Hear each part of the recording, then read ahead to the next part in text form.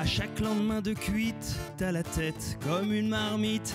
Tu mets trois jours à t'en mettre et t'as du mal à l'admettre. Quand on te prend en photo, tu contractes les abdos. Tu accuses tes fringues vintage de rétrécir au lavage. Pour te sentir plus normal, tu fais du sport dans une salle. Mais à chaque fois que tu cours, faut que t'en parles aux gens autour. T'as l'impression que tout fout le camp. T'as même pris une carte au champ. Des douleurs passagères. Et sous une pierre. Et Patrick Bruel a 60 ans. Ça te fait tellement bizarre lorsque tu l'entends. Patrick Bruel a 60 ans. Et ce sera ton tour dans pas longtemps.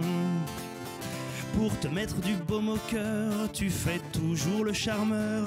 Tu parles aux belles aux yeux bleus et elle, elle t'appelle monsieur. Ça te plaît pas trop à tes filles, tu te sens con quand elles te grisent. Tu leur fais promettre en l'air de rien en dire à leur mère. Tu leur fais promettre en l'air de rien en dire à leur. Car au fond, c'est ça le plus dur. T'es en couple et ça te rassure. Mais avec les filles, le pire, ce que tu trouves insupportable, la fin de ton bel empire, tu les rends raisonnables.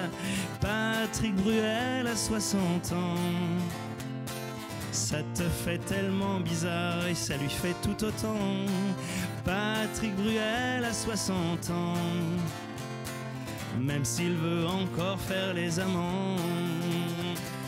Et Morten Arquette a 60 ans.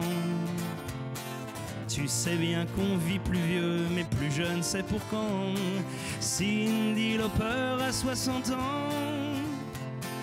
Jackson peut même pas en dire autant. Bravo, Hold de